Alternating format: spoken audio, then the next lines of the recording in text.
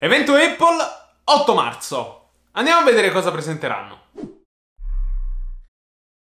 Ciao a tutti ragazzi e benvenuti in questo nuovo video. Prima di cominciare, come al solito, vi chiedo un piccolissimo supporto. Iscrivetevi cliccando il tastino rosso, attivate la campanellina e lasciate un bel like, dato che siete solo il 10% che siete iscritti al canale e allo stesso tempo guardate i miei video. È gratis, quindi non vedo il perché non dovreste farlo. In ogni caso, adesso partiamo col video.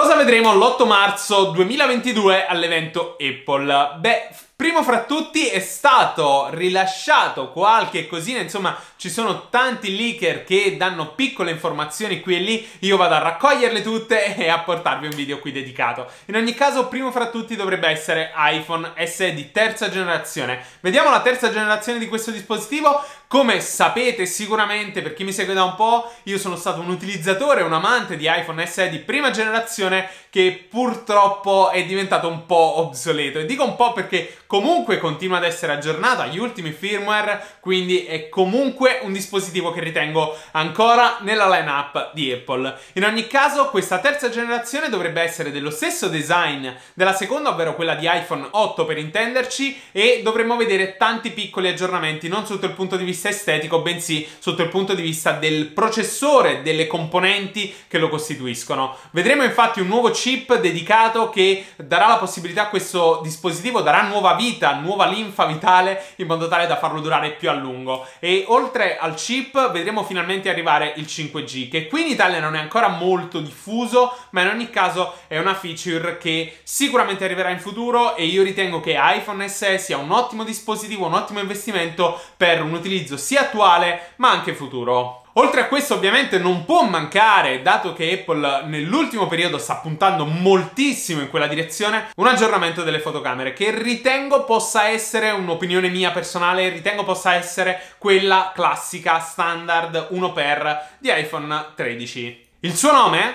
dovrebbe essere iPhone SE 5G. iPad Air. Anche per lui dovremmo vedere un piccolo aggiornamento non sotto il punto di vista del design, dell'aspetto estetico, in quanto l'abbiamo visto non troppo tempo fa. E quindi Apple decide anche su questo modello di andare ad aggiornare quello che è il chip, la fotocamera e il supporto al 5G. Dovremmo vedere un aggiornamento anche per quanto riguarda il Mac Mini, dispositivo che è strautilizzato, dispositivo che è diventato super famoso, super importante nella lineup in quanto dispositivo entry level di tutta la gamma dei Mac. In ogni caso è un device estremamente interessante in quanto al momento monta un chip M1, non sappiamo di quale chip verrà aggiornato, come verrà aggiornato con precisione, ma sappiamo che in ogni caso un aggiornamento per questo dispositivo dovrebbe esserci quasi al 100%. C'è chi dice che potrebbe esserci un redesign del modello rendendolo un po' più snello e probabilmente con un materiale mh, dicono essere un po'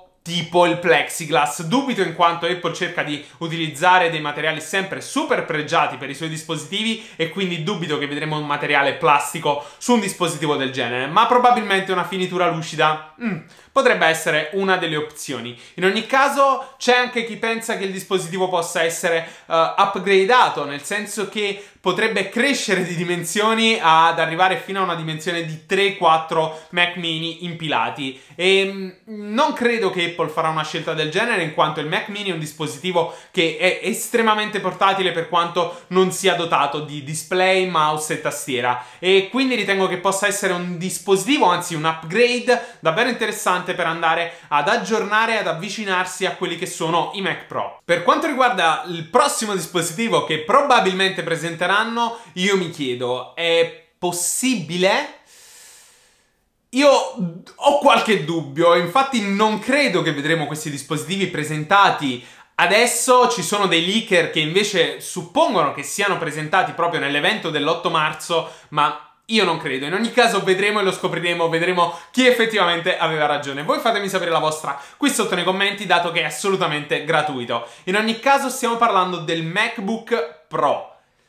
Eh sì, li abbiamo visti aggiornati l'anno scorso, appena l'anno scorso, con i nuovi chip M1 ed M1 Max. Ma c'è chi dice che potrebbero essere aggiornati la versione quella classica, quella che è rimasta in vendita con il chip M1 e potremmo vedere un chip M2. In ogni caso, lo stesso leaker che parla di questo parla anche dello stesso chip che verrà utilizzato sul Mac mini, quindi Non so, non so se vedremo questi nuovi chip, non so se vedremo un aggiornamento del chip stesso su un Mac che ormai per quanto riguarda il design è un po' obsoleto, ma mai dire mai. Dico che Apple effettivamente potrebbe non farlo perché mh, mm, dovrebbe andare ad utilizzare anche per quanto riguarda il design del monitor uno stile obsoleto ormai per quanto riguarda i modelli della lineup Pro e quindi ritengo che mh, mm, potrebbe più puntare ad un aggiornamento sui modelli Air in quel verso. Passiamo però a parlare dell'evento di giugno. Voglio fare qualche piccolo appunto di probabilmente rumors che saranno interessanti per quell'occasione. In ogni caso stiamo parlando dell'iMac Pro, dispositivo che è stato super amato, lo hanno utilizzato in tantissimi, è un dispositivo super performante e che dava la possibilità a un professionista che aveva bisogno di una determinata potenza di poter utilizzare e sfruttare un device che in ogni caso aveva tutto all'interno di un singolo prodotto. Mouse, tastiera, monitor, Mm, insomma, un dispositivo super completo. In ogni caso dovremo vedere un piccolo aggiornamento, o meglio, un grandissimo aggiornamento a giugno, eh, ovvero un cambio di design molto più vicino a quello che è il l'iMac attuale che è in produzione, quello classico, delle varie colorazioni, insomma, e in ogni caso dovremo vedere una colorazione dedicata solo per la versione Pro, come vediamo per tutti gli altri modelli. Dovremmo vedere anche i nuovi chip dedicati a quel determinato modello, non si sa se monteranno il chip M1 Pro ed M1 Max